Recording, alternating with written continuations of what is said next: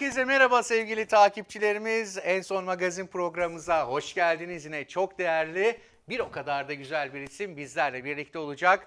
Hem e, eski Türkiye güzeli, sunucu, oyuncu, anne, sevgili Nefise Karatay bizlerle birlikte hoş geldiniz. Hoş bulduk İlker. ya böyle bir hani çok şeyiz ama kaldırsak mı programda Kaldır, acaba? olur. Ben de çünkü Nefise Hanım diyeceğim. Bu sefer izleyicilerimiz hani böyle şey olsa Çok resmi kalacak e, çok değil mi? resmi kalacağız. Tamam İlker'cim olur. Harikasın e, Nefise. E, tabii dilimiz şey olmuyor. Pek alışık değiliz. Çünkü Alışırız hemen. e, Nefise Hanım diyeceğim ben son kez hanım diyeceğim. O kadar e, nezaket dolu bir insan ki sevgili takipçilerimiz. Yaptığımız tüm görüşmelerde benim ısrarla aramalarıma rağmen böyle taciz eder desene Nefise Rica Hanım ne zaman geliyorsunuz Evet. diye. Ben de böyle koşa koşa geldim. Çok yoğun bir dönemdeyim çünkü. Evet. Bir yandan da annem biraz rahatsız. Geçmiş olsun. O- evet. Onun sağlık problemleriyle ilgileniyorum. Ee, o yüzden böyle çok sıkışık bir dönem ama sizi kırmak istemedim. Siz çok kibar bir şekilde davet ettiniz. Çok teşekkür Ee, ben o kibarlığa çok önem veriyorum. O değere çok önem veriyorum. Siz değer verip e, kibar bir şekilde arayıp e, davet edince ben de davete icabet ettim. Evet, biz de çok teşekkür ederiz. Biliyoruz çok yoğun çünkü neden? Nefise Karatay yeni bir diziye başlıyor. Evet. Değil mi? Başladık. Ee, başladınız, çekimlere Başladık, çekiyoruz. başladınız. Tam bir aksiyon değil aslında daha ziyade polisiye bir iş. Hı hı. Ee, sevgili Tamer Karadağlı ile çalışıyoruz. Çok değerli oyuncular var. Ee, Demir Karahan var. hı. Ee, onun dışında yine e, burada yine ismini sayamayacağım kadar e, çok değerli oyuncular var. Ee, Evet. Hani saymaya kalksak çok uzun sürecek diye hemen söylüyorum. Ee, çok güzel bir iş, çok keyifli bir iş.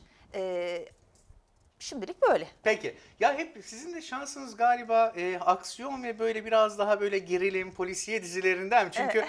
tabii Nefise Karatay denince birçok şey var akla gelen ama ilk akla gelen belki de son hani akıllarda kalan Kurtlar Vadisi Pusu'daki Ahu Toros karakteri. Evet, Ahu değil mi? Toros var. Yani çok e, aslında efsane bir karakterdi ve diziden ayrılması da çok efsane oldu. E, çünkü canlı bomba olarak Evet, değil mi? E, evet. siz kendinizi imha ettiniz. Evet. Nasıldı Nefise e, o, o zamanları yaşamak? Yani o canlı bombaya hazırlanmak psikolojik olarak rol bile olsa çok kolay olmasa gerek diye Tabii, düşünüyorum. tabii, Anlatabilir öyle. misin rica etsek o role hazırlanışını ve Ee, ya aradan da zaman geçti aslında ama e, tabii ki senaryoyu okurken e, belli bir hazırlıktan e, geçiriyoruz karakteri bir ortaya çıkarırken de en başından beri zaten e, işte senaryo geldikten sonra e, öyle bir sahne vardı ve onu hissederek e, o şekilde canlandırdım.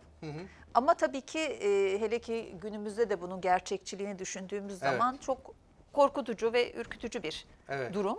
Ee, ama işte e, oyunculuk zaten onu da bir şekilde e, hissedebilmek ve e, onu e, kendi içinizden yaratabilmek, çıkarabilmek o karakteri, Evet. o durumu. Şimdi e, o, o dizide tabii o kadar kült bir karakterdiniz ki şimdi baktığımızda hep dediğim gibi aslında çok nezaketli, çok e, nazik bir hanımefendisiniz ama oynadığınız roller sanıyorum son dizide de öyle böyle daha böyle sert, daha böyle sanki e, keskin demeyeyim ama bu daha farklı. Sizin varoluşunuzdan daha farklı gibi geliyor bana. Evet, hep. aslında işte kendi içimden çıkarıyorum o karakteri gene ama tabii benden farklı. Güzelliği de o zaten. Ee, şimdi bir adli psikoloğu canlandırıyorum. Ee, Adli psikolog da yine benim kendi içimden çıkan e, duygularla yola çıkarak oluşturduğum bir karakter. E, o da e, işte çok kararlı, e, çok disiplinli, iş odaklı. Benim içimde de vardır yine bu duygular, bu e, bu Var karakter. ki yıllardan beri ha- hala başarıyla değil mi? Evet. Kaç yıl oldu bu arada siz Çok sektöre uzun gireli? zaman oldu. 97 Türkiye güzeliyim ben. Evet. Vallahi bugün alın koyun 2023 Türkiye Güzellik Yarışması'na yine Çok Nefise Hanım e, derece yapıp kibar, çıkar ya. Ne kadar kibarsınız. Yok çok görüneni iyi. söylüyoruz. Gerçekten öyle. Maşallah diyelim. Ee, 20 kaç? 20 97 26 sene oldu. Evet 26 sene. 26 sene ya Nefise Karatay. Ya bak Evet. nasıl geçti bu 26 sene? O kadar hızlı geçti ki aslında Maya doğdu mesela geçen gün Yusuf'la konuşuyoruz ne kadar hızlı büyüyor. Yıllar o kadar hızlı geçiyor ki. Evet. İnanılmaz hızlı geçiyor. Sabah şekeri var Çok mıydı kısa bir sizin? dönem, yaptım. Hatırlıyorum Çok sanki kısa değil bir mi? dönem yaptım ama 10 sene kültür sanat programı sundum. Afiş- CNN afiş Türk'te programını, evet. sundum. E, o benim için bir okul e, niteliğinde bir programdı. Ya şimdi tabii yıllar içerisine baktığımızda aslında kariyerin başlangıç noktası güzellik yarışması Evet, oluyor değil mi? evet. Peki mesela güzellik yarışması olmasaydı e, ve girmeseydin, derece almasaydın acaba tekrar bu işlere show business'ın içinde olmak gibi bir durum olabilir miydi? Ben zaten sunuculuk yapıyordum güzellik yarışmasına e, katılırken. öyle mi? Evet Evet. yapıyordum. Ee, bir müzik kanalında çalışıyordum. Bir program hazırlıyordum, bir format hazırlıyordum. Ben onu yaparken e, güzellik yarışmasına katıldım. Zaten bir şekilde yolum yine sunuculukla devam ederdi. Bir şekilde yine kesişirdi ama tabii e, o zamanlarki güzellik yarışmalarına katıldığınızda işte Jülide Ateşler vardı, e, Özlem Öz- Kaymaz vardı. Özge Özsağmanlar. Evet? Özge Özsa, Özsamanlar, Arzu Monan vardı. Evet. Ertesi günü bütün Türkiye sizi tanıyordu. O dönemde e, çok e, saygın ve popüler olarak e, bir e, duruşu vardı güzellik yarışmalarının. Çok Evet. özeldi. Herkes oturur izlerdi zaten çok kanal yoktu. Ertesi günde böyle e, e, hakikaten çok e, herkesin tanıdığı, bildiği bir anda e, bir e, kariyer başlangıcı içerisinde oluyordunuz. E, zaman değişti tabii o zamanın şartlarıyla bu zamanın şartları. E, biraz güzellik yarışmaları da o ivmeyi kaybetti diye düşünüyorum o zamanla, geçen Evet. zamanla birlikte. Peki mesela ben e, geçmiş Türkiye güzellerinde zaman zaman yaptığımız sohbetlerde e, onların şöyle bir fikri oluşmaya başladı. E, işte güzellik yarışmalarına karşılar. Derece almış ve bundan sonra tüm Türkiye'nin tanıdığı sizin gibi değerli oyuncu olan, sunucu olan bir sürü başka isimler. E, bu Kim konuda karşıymış? fikri e, Tuğba Ünsal. Evet. Tuğba Ünsal mesela işte kadınların bir araya öyle dizilip hani Evet. tırnak içinde söylüyorum çok özür dileyerek işte orada bir hani eee, o ifadeyi kullanmayayım neyse. O şekilde kadınların hani derecelendirmesini doğru bulmadığını ifade etti ama Tuğba Ünsal'ın kariyerine baktığımızda tamamen onun da hatta güzel yarışmasından önce de Miss Elite Model'lık öyle yine başka bir yarışmadan geliyor. Evet. Eee, senin bakış açın nedir bu konuda? E, o tamamen onu bağlayan bir düşünce. E, ben herkes farklı farklı düşünüyor Tabii olabilir. ki. Ben o zamanın şartlarında e, yaptığım bu işten hiçbir zaman bir pişmanlık duymadım. E, böyle de bakmıyorum olaya açıkçası. E, çünkü e, dediğim gibi e, hepimizin bir şekilde e, o dönemde bir e, kariyer planlaması için oturup da "Ay, şunu da şöyle yapalım, bunu da böyle yapalım e, diye bir o, o zamanlar öyle bir şeyde değildik açıkçası ve e, güzellik yarışması dediğim gibi çok saygın, çok da e, düzgün e, Yapılıyordu. şekilde yapıldığı zaman gayet de bütün dünyada da yapılıyor. Bu sadece Türkiye'ye özgü bir şey değil. E, o dönemin şartlarında bunu e, nasıl hissettiğiniz, nasıl algıladığınızla alakalı. Evet. Yani bu kadar insan e, kendisi de sonuçta katılmış.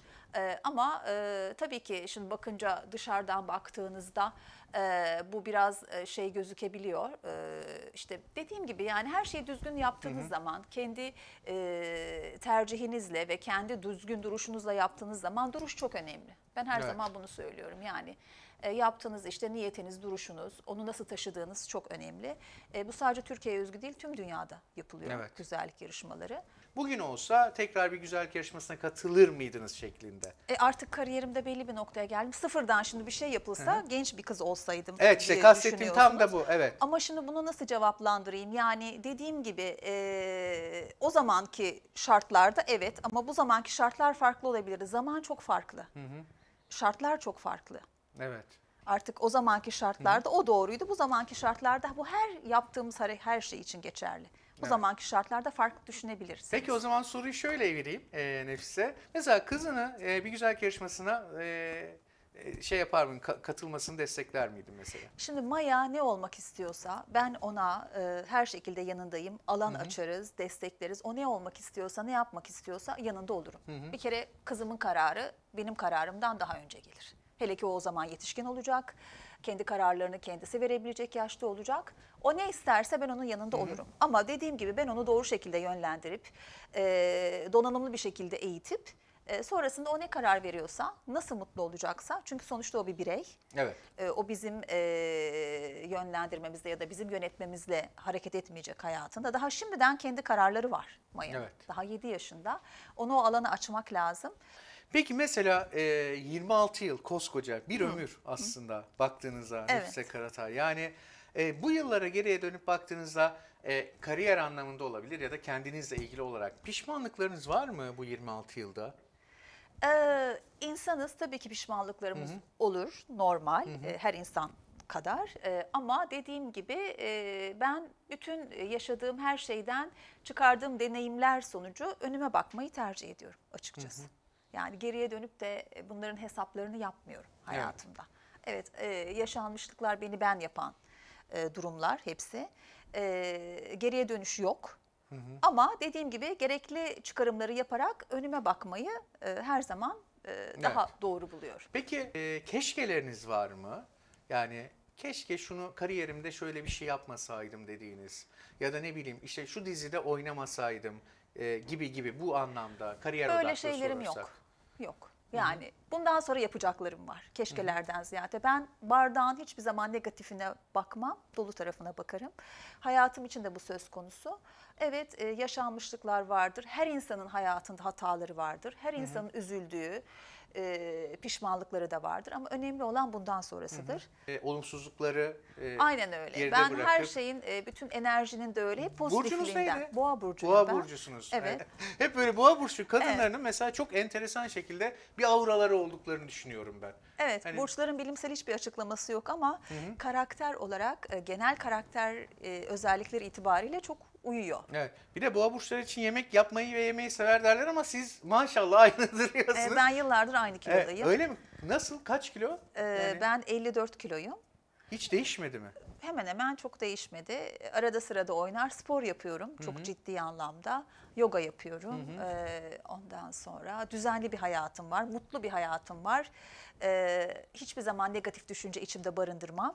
E, buradan da herkese onu tavsiye ediyorum. E, çünkü keskin sirke küpüne zarar. Her şeyden önce öfke de, kızgınlık da, negatiflik de size zarar verir. İçinizi Evet. pozitif tutun, e, hep olumlu düşünün ve e, başınıza bir şey geldiği zaman üzülün. Bir şey gelmeden üzülmeyin çünkü boşa üzülmüş olacaksınız. Mesela biraz anneliğinize gelelim, e, ev hanımlığınıza gelelim. Mesela Nefise Karatay nasıl bir anne? Şimdi bu kadar hani e, pozitif bir annenin hani çocuğu üzerinde bazı istemediği şeyleri nasıl ona ifade ediyor? E, Maya ile ben doğduğundan beri hep konuşuyorum. Karnımdayken de konuşuyordum. Onun bir kere bir birey olduğunu, yaşı küçük ama o da bir birey. E, istekleri, arzuları, mutlulukları, e, onun da kararlarına saygı duyarak, e, karşılıklı konuşarak, anlatarak, her şeyi anlatarak, onun da anladığını hissederek, bir kere göz göze kontak kurarak çocukla, o çok önemli bir şey. E, bunu yap, bunu yap, bunu yap değil, yapması gerekeni, doğru olması gerekeni açıklayarak bu şekilde ona, e, onunla bir iletişim kuruyorum her zaman. E, ve Maya çok gönlü açık, çok kolay iletişim kurabilen, e, hiçbir çok özgüvenli, inanılmaz özgüvenli bir çocuk. Bence yeni nesil biraz daha öyle ve kendi karakterleriyle doğuyorlar. Kesinlikle hayata alfa geliyorlar. çocuğu onlar. Yani Evet, onlar programlanarak e, geliyor ben diyorum daha ben. çekingen ve daha e, sessiz bir çocuktum ama Maya istediği her şeyi çok net söyleyebilen, herkesle arkadaşlık kurabilen, duygularını çok net ifade edebilen e, böyle bir çocuk. E, müthiş bir ilişkimiz var babasıyla da benimle de. E, çok mutluyum. En huzurlu olduğum anlar kızımla, eşimle evde beraber olduğumuz Aile anlar. Ya da ortamları. onunla nerede olduğumuz da önemli Hı hı. değil. E, geçirdiğimiz o süre Evet. bizim için çok değerli. Evet. Peki mesela e, Maya ile hani böyle şey, fikir ayrılıklarınız olduğunda e, onu nasıl ifade ediyorsunuz ona? Yani nasıl anlatıyorsunuz işte bu e, böyle doğru değil hani onu nasıl o- bir anne olarak şey yapıyorsunuz? Ee, anlatıyorum. Ee, yine de sen doğrusunu sen bilirsin demek çok önemli. Ne olursa olsun. Ben bütün O çocuğa özgüven alış, açılıyor değil zaten mi? özgüvenli bir çocuk ayrı bir şey ama e, bir şeyi dikte etmek bu bütün ilişkiler için geçerli. Siz ona doğruyu söylersiniz. Olması gereken bu. Bence bunu böyle denemelisin. Ama yine de en doğru kararı senin vereceğine inanıyorum. Ben sana güveniyorum. Bu Evet. çok önemli. Kilit Yani cümle bu. ben bütün ilişkiler için bunu düşünüyorum. Yoksa bir insana baskı kurmak, sizin doğrularınızı ona empoze etmek e, her ilişki için geçerli. E, bana çok bana da birisi yapsa çok rahatsız olurum, müsaade etmem. E, kararı gene sizin vermeniz ama e, bir anne olarak tabii ki bir baba olarak biz ona doğruyu gösteriyoruz, söylüyoruz. E, zaten o da bizden ne görüyorsa onu uyguluyor hayatta. İşte Evet. mesela geçen sene yüzme takımındaydım Maya ve Yani- de bana şey demişti senin yaptığın spor gibi değil bu çok yorucu. Ben de işte yoga yapıyorum. Ee, haftada üç gün e, ağırlık e, Çalışıyorsunuz hala. yoğun bir haftada şekilde gün. devam değil mi? Tabii bu spor spora? yapıyorum haftada üç gün yoga yapıyorum. Hı hı. Ee, artı e, e, yüz yogası yapıyorum. Vücudum için spor yapıyorum. Düzenli bir hayatım var, düzenli besleniyorum, temiz besleniyorum, e, işte düzenli bir saatte uyuyorum. Kendime dikkat ediyorum açıkçası. Sağlığıma ve kendime, kızıma, eşime, ailemize. E, ve e, bunun da meyvelerini alıyoruz diye düşünüyorum. Maya da bunu gördüğü için o da o şekilde biliyor. Evet. Ne Şimdi- görürse o çocuk. Şimdi tam ben de diyecektim ki e, takipçilerimiz özellikle e, kadın takipçilerimize acaba tavsiyeleriniz olabilir mi? Çünkü yıllardan beri aynı güzellikte olabilmenin mutlaka ki kendine bakımla ve kendine özen göstermeyle alakası vardır. E, öncelikle estetik herhangi bir şey var mı Nefis Hanım? Evet burnumda estetik var. Yıllar önce yaptırmıştım. Ee, ama bayağı zaman oldu bir kere yaptırdım. Evet mesela ben bilmiyordum ve çok da itiraf etmezler genelde biliyor Yok, musunuz? söylüyorum. Peki o günümüzde küçük dokunuşlar dediğimiz o dokunuşlar botoks, dolgu. Çok yaptırmıyorum. Ee, dolgu taraftarı değilim. Yüzü deforme ettiğine inanıyorum. Botoksun da yüzün yüz kaslarını bir süre sonra e, Tamamen öyle. Evet, yüz kaslarını tamamen zayıflattığına inanıyorum Ee, ve bu tip işlemleri çok yaptırmıyorum, çok tercih etmiyorum. Dolgular da ilk yapıldığında belki güzel görünüyor ama kamerada ve televizyonda dolguların da çok farklı bir ifade verdiğini düşünüyorum. Yapay bir görüntüye kavuştuğunu düşünüyorum insanın. O yüzden olabildiği kadar doğal kalarak işte vitamin iğnelerini e, beğeniyorum. Güzel işte vitaminler var. E, cildimi temiz tutmaya gayret ediyorum. E, her şeyden önce içimi temiz tutuyorum. Bence o da yansıyor dışarıya diye düşünüyorum. Kesinlikle katılıyorum. İnsanın çünkü hep atalarımız bile demişler ya kalbi yüzüne yansır diye. Öyle, evet. Kesinlikle Evet. katılıyorum. Peki Kalbinin e, ekmeğini yemek diye bir şey var. O da doğru bence. Yani. siz kalbinizin ekmeğinizi yiyor musunuz? Yediğine inanıyorum. Evet. Ben Evet. yıllar önce böyle e, biriyle karşılaşmıştım. O da böyle çok hisleri güçlü biriydi. Bana demişti ki kaderin senden güzel olacak. e, Çok mutlu olacaksın demişti. Allah'a çok şükür gerçekten çok mutluyum. E, Çok Allah şükür. da bozmasın. Amin. E, Yuvamda, çocuğumla, Evet. işimde de öyle. İş açısından da çok sevdiğim bir iş yapıyorum. E, Koşarak sete gidiyorum. E, müthiş bir ekiple çalışıyorum. Hem kamera arkası hem kamera önü hem oyuncu arkadaşlarım. E, sevgili Tamer Karadağlı keza. Evet. Ee, onu da her tanıdığımda üzerine daha çok koyduğum bir insan oldu. Ee, açıkçası e, çok özenli. Zaten işinde yapımcısı kendisi. Evet. E, o açıdan da biz çok huzurlu ve e, rahat çalışıyoruz. E, böyle yani çok şükür. Bayağı bir ara verdiniz ama ekranlara değil mi? En son bir sunuculuk deneyimimiz oldu galiba. Hayat güzeldi. Aslında sunuculuk hep devam etti. Kanal D'de yaptım. Hı hı. Sonrasında Star TV'de yaptım. Bir sağlık formatında bir program yaptım. Ee, teklifler geldi gene arkasından ama e, açıkçası çok içime sinmedi. Biraz daha durmak istedim. Şimdi yine bir teklif değerlendirme aşamasındayız. Bakalım olursa o da olacak. Evet. O da haftada bir günlük bir program. Biraz içeriğini de kendim oluşturmak istiyorum. Ona da bir müsaade ediyorlar e, açıkçası. Biraz içinde kültür sanat da olsun istiyorum. E, biraz hayata dair de konular olsun istiyorum. E, böyle bir format içerisindeyiz. Bakalım inşallah olur. Mesela dediniz kelimelerin gücüne inanıyorum diye. Hep bir Evet. söz vardır ya ağzınızdan çıkana dikkat edin kaderiniz olur Doğru. diye. Bu düşüncedesiniz. Aynen öyle, kadarıyla. evet. O yüzden de negatiften herhalde kaçıyorsunuz tamamen. Evet negatif insanları da e, bu tip e, nasıl diyeyim e, ortamlardan da uzak durmaya gayret ediyorum. Çünkü size hiçbir faydası yok. Tamamen e, zararı var. Evet. E, bu tip e, eskiden olsa daha kolay tolere edebilirdim ama belli bir yaştan sonra özellikle buna çok dikkat ediyorum. E, çok fazla insanla görüşmüyorum. Çok daha kendi izole hayatımda yaşıyorum. Bununla da çok mutluyum. Mesela Evet. o yıllara baktığınızda gelen dostluklarınız var mı orada? Var, tabii ki Kimlerle var. görüşüyorsunuz Yüksel'le mesela? görüşürüm. Yüksel Yüksel çok severim. İzmir'de çok fazla görüşemesek de her zaman kaldığımız yerden devam ederiz. Kalplerimiz çok ısınmıştır birbirine. Evet. Ee, Didem Taslan'la görüşürüm. Onu da çok severim. Bugünkü Nefise o gün olsaydı ne derdi o günkü Nefise'ye? Bir şey der mi? Herhangi bir not olur muydu bugünkü Nefise'nin? Ee, ben hep kalbimin sesini dinledim açıkçası her zaman. Ee, yani o yüzden nasıl bir şey söylerdi ee, bilmiyorum o, o döneme dönüp baktığımda. Ee, dedim ya hani geçmişe çok odaklı yaşamıyorum ama yine kalbimin sesini dinlemeye devam ederdim her zaman. Çünkü Evet. ben hep vicdanımla ve kalbimle hareket ettim hayatım boyunca. Ee, evet hatalarım da olmuş olabilir, pişmanlıklarım da olmuş olabilir ama e, hiçbir zaman istemediğim yerde olmadım. E, hep kalbimin sesiyle hareket ettim. E, bu hep böyle oldu, yine de böyle oluyor. Evet. E, Şimdi de mesela huzurlu, mutlu bir hayatın içerisindeyim. Ama e, her zaman dediğim gibi e, duygularım ön planda oldu. Evet. Peki mesela evlilik hayatıyla birlikte set hayatını sürdürmek, hele bir de çocuk varsa nasıl bir e, o orada bir çünkü e, şey yapmak, formülize etmek lazım bunu. O dengeyi nasıl koruyorsunuz? E, set e, çok ağır e, bir çalışma ortamı değil her şeyden önce. E, müthiş yetenekli bir yönetmenimiz var. E, böyle yetenekli bir yönetmene denk gelmek de bir oyuncu için şans diye düşünüyorum. Ne çekeceğini, ne yapacağını önceden çalışıp gelip bunu bilip e, çok bunu e, muntazam bir şekilde hayata geçiriyor. Hepimiz oyuncu olarak çok müteşekkiriz kendisine. E, Bora Tekay bizim yönetmenimiz. E, buradan da sevgiler olsun. E, çünkü her gittiğimizde aa evet ne kadar mantıklı bak şimdi böyle çekiyor. Şimdi kullanacağı yakını çekiyor. Kullanmayacağı e, kendisine lazım olmayan planı bir de elimde dursun kendimi garantiye alayım diye çekmiyor. Bizi yormuyor. Yor, bu da Evet. iş- oyuncunun işine gelen Oyuncunun bir şey. işine gelen Efor bir şey. daha işte iki ediyor. kamera çalışıyoruz bu çok güzel bir şey. Evet. Ee, tek kamera ziyade setteki imkanlar da çok önemli. Ee, o açıdan da çok yorulmadığım için ben e, evime de aileme de çocuğuma da vakit ayırabiliyorum. E, çalışmak zaten beni çok motive eden bir şey.